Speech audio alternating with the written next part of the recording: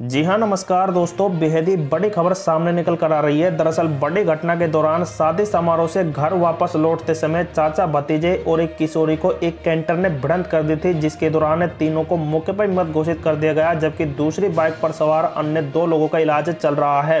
वहीं इस घटना के दौरान ग्रामीणों ने आरोपियों की गिरफ्तारी की मांग को लेकर एक घंटे तक सब नहीं उठाया और जाम लगाने का प्रयास किया। इसी दौरान पूर्व चेयरमैन ने जैसे तैसे परिजनों को और ग्रामीणों को शांत करवाया है। दरअसल यह पूरा मामला बुलंद शहर के औरंगाबाद क्षेत्र के गाँव चचोरा मुस्तफाबाद राजवे का पास का बताया जा रहा है।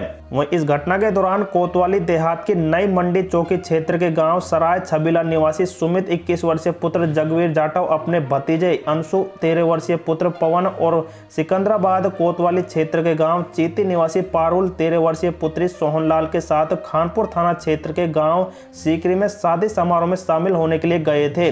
लौटते समय बुलंदशहर औरंगाबाद स्थित हाईवे पर बुलंदशहर से आ रही एक कैंटर ने उनकी बाइक को भिड़ंत कर दी थी, जिसके दौरान मौके पर ही तीनों को मृत घोषित कर दिया गया। वहीं इस घटना के बाद कैंटर चालक कैंटर छोड़कर मौके से फरार हो गया है और इस घटना के बाद ग्रामीणों ने हाईवे पर लंबा जाम लगाने की कोशिश की गई। इस घटना के दौरान पुलिस मौके पर पहुँची और छानबीन के तौर पर कैंटर चालक की तलाश शुरू कर दी है। सो दोस्तों, बड़ी खबर थी। वीडियो को लाइक, शेयर, कमेंट करते हुए कमेंट में अपनी राय ज़रूर दें।